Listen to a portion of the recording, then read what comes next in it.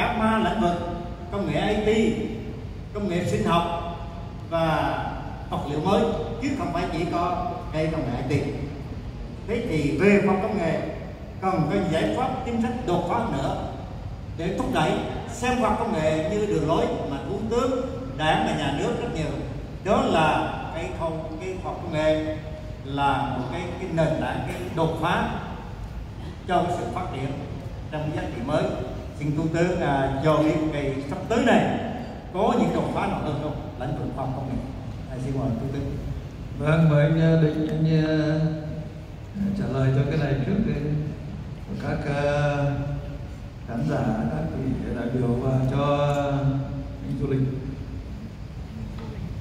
Kính thưa thủ tướng chính phủ kính thưa đồng chí bí thư thành ủy thành phố hồ chí minh kính thưa các vị lãnh đạo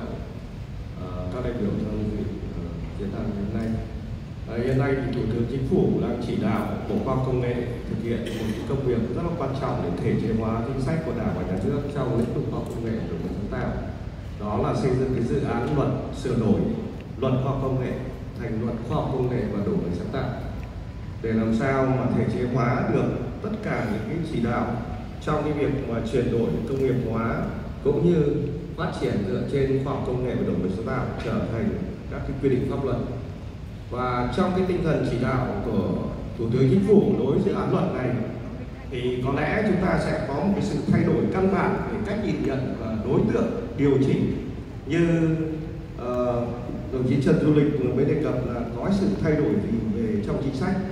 Nếu mà chính sách trước đây của chúng ta làm luật khoa học công nghệ là chủ yếu là để sử dụng ngân sách nhà nước cho các đơn vị công lập để làm dự án đề tài nghiên cứu thì trong cái dự án luật lần này sẽ tập trung vào vấn đề xã hội hóa các nguồn lực cho khoa học công nghệ. Và để cái hoạt động khoa học công nghệ đổi mới sáng tạo đấy nó được tạo điều kiện